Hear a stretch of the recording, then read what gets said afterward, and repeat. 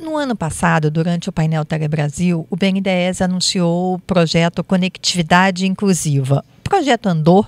Sim, o projeto andou. É, a linha de conectividade inclusiva foi aprovada pela diretoria do BNDES em janeiro de 2017 e a partir daí, então, o conceito de financiar com condições mais, mais atraentes os investimentos, de, os investimentos a serem realizados em regiões que hoje não são bem atendidas do ponto de vista de conectividade, que não tem uma boa conectividade de banda larga, ele foi, ele, o conceito dele foi aprovado. A partir daí, a gente trabalhou na discussão de como que a gente implementa isso na, no, no, no, dia a dia. Né? Então, assim, a gente tá, preparou uma lista de municípios juntando, seja um programa que o BNDES já tem, que é um programa de desenvolvimento regional, que faz uma medida, tenta trazer uma medida de desenvolvimento para todos os municípios brasileiros, com também um mapa de municípios de acessos de banda larga, de disponibilidade de acesso de banda larga que existe na Anatel. Então a gente fez uma combinação desses dois mapas para fazer uma lista de assim, quais são os, as localidades que são elegíveis, então que se eu tiver, se a operadora fizer um investimento ali, ela pode pegar essa linha.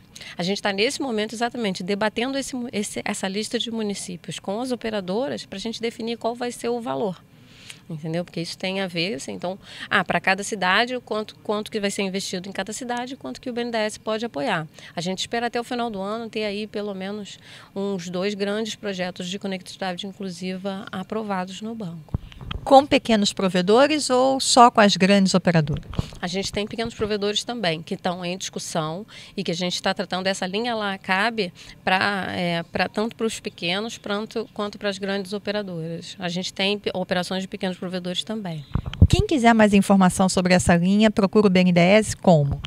É, procura o BNDES. A linha, todas as condições das linhas do BNDES estão no site bnds.gov.br. Se você digitar lá é, conectividade inclusiva na busca, sai. Ou você pode é, é, financiamento para telecomunicações também sai tá?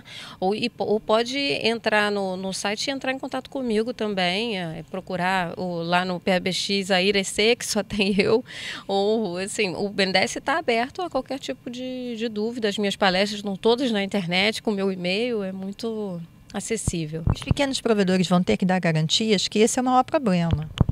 É, a gente, nos últimos, os pequenos provedores vão ter que dar garantia. Essa é uma, uma realidade. E a gente, o que a gente tem avançado nos últimos tempos é na discussão dessas garantias e a gente tem conseguido viabilizar operações de pequenos provedores com garantias baseadas nos recebíveis deles, tá? Assim, a gente é, é, um formato que a gente opera com as grandes operadoras e é assim que a gente também está tratando os pequenos provedores. Eu acho que está conseguindo é, ser de uma forma que seja é, segura e tranquila do ponto de vista de crédito para o BNDES, mas que também apoie os investimentos dos pequenos provedores.